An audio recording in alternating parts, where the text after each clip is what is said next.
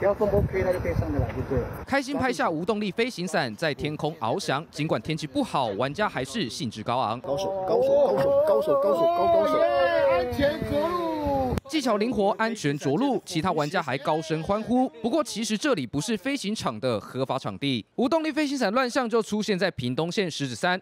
摊开地图来看，飞行伞降落点附近除台一线公路之外，还有海景度假区、景观咖啡厅。万一发生掉落意外，其实相当危险。如果有通过初级跟中级的飞行员的鉴定以上啊，那个地方降落都不是问题。初级的飞行员他一定会有教练带着，不能单飞，单飞出了意外是他自己的事情。如果飞行伞玩家在没有登记证的场地进行无动力飞行，县府依法可裁处五万到十万罚金。屏东目前合法的无动力飞行伞仅有赛嘉飞行场一座，近日将会会同相关单位前往办理联合稽查。其实屏东有合格的无动力飞行场，具备跑道区、起飞台以及风筒等设备，还有合格教练在场陪同。目前屏东县府已派人查核，提醒民众别因为一时好玩以身试法，万一发生意外，后果不堪设想。金新闻演艺圈谢嘉玲采访报道。